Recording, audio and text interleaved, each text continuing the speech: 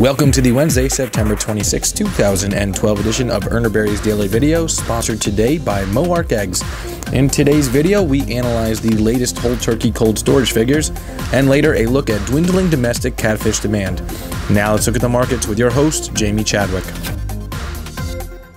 The Canadian Food Inspection Agency has completed its investigation into the cause of the ground beef recall that affected over 250 products.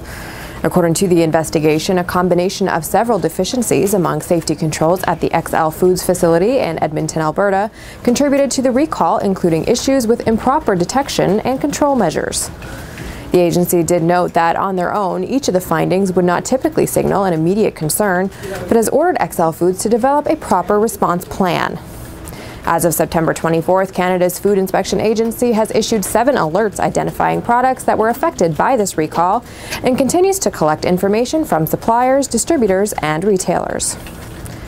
For more on Canada's investigation into XL Foods beef recall and for other news in the food service industry, head over to foodmarket.com. Now here's poultry market reporter James Serpico discussing the latest whole turkey cold storage figures as the market heads into the Thanksgiving holiday. Each month when the third week or so rolls around, one can be assured that there will be a new USDA monthly cold storage report to discuss and dissect. The latest installment, released last Friday, is no exception. With Thanksgiving around the corner and whole bird markets on the mind, industry observers quickly honed in on whole body turkey stocks. According to the report, whole body turkey holdings were up a total of 35 million pounds, or about 12% from last year.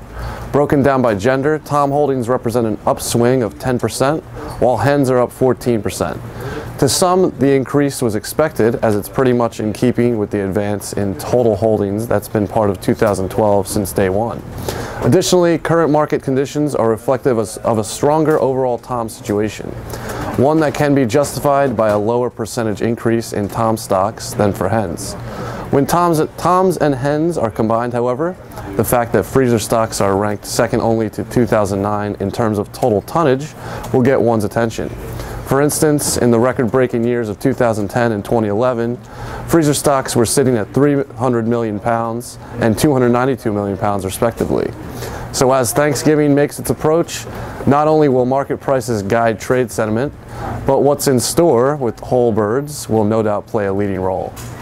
Thanks, James. To wrap up today's video, Seafood.com news writer Michael Ramsingh explains how dwindling domestic catfish demand appears to be impacting the market. Waning demand for domestic catfish has caused wholesale and pond bank prices to plummet in 2012.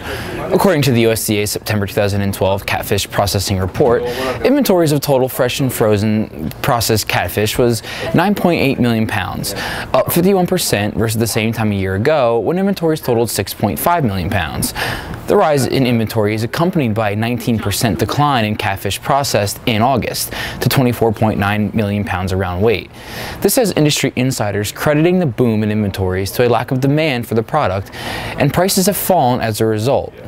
For example, according to Urner Barry's monthly quotations for 5 to 7 ounce fresh and frozen domestic catfish fillets, prices in September were reported at $3.55 and $3.30 per pound respectively. Fresh prices declined 19% since the start of 2012 and are at their lowest levels since January 2012. Meanwhile, frozen prices are down 17.5% from the start of the year and are also at their lowest levels since January 2011. Meanwhile, pond bank prices have continued to plummet.